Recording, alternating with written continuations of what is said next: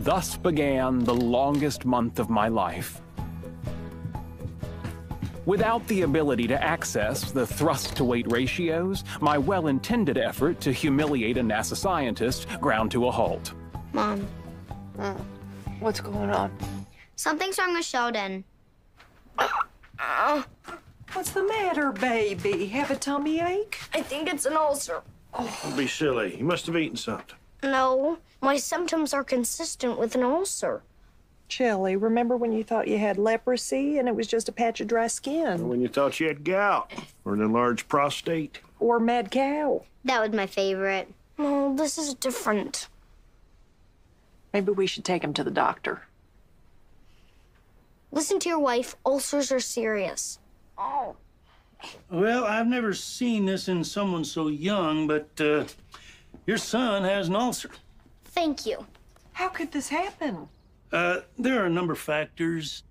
Has he been under some unusual stress lately? Yes, she won't take me to Radio Shack. We'll wait outside. I've read some interesting research about treating ulcers with antimicrobials. Go. And you're surprised I have an ulcer. I'm surprised I don't have one. Radio Shack? He's trying to figure out how to help NASA land rockets. Oh, that's a nice thing. He's just doing it out of spite. Okay. Uh, well, keep him off spicy foods for the time being, and I'll write you a prescription for Zantac. Does he smoke? Of course not. He's nine.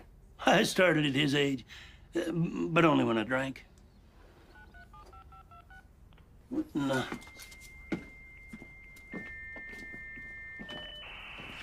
Sheldon, what are you doing? I just need a minute. These things are so slow. Is this your family? They're lovely.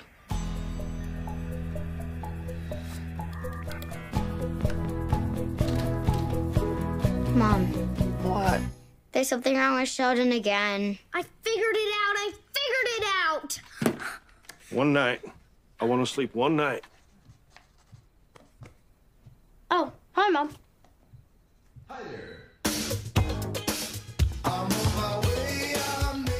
With my research complete and my ulcer on the mend, all that was left to do was send my work to NASA and wait to become America's scientific sweetheart.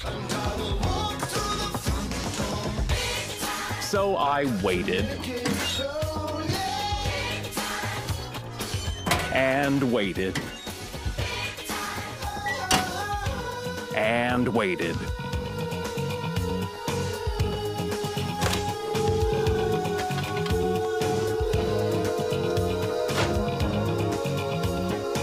And waited. Something's wrong with Sheldon again. Now what? Those people at NASA never responded to his science stuff. Damn it. I've had enough of this. Sheldon, get up. What's the point? We're going to Houston. Really? Yeah. You and me are going to give those space monkeys a little talking to. I often found my father to be a strange and puzzling man, but at that moment, I never loved him more.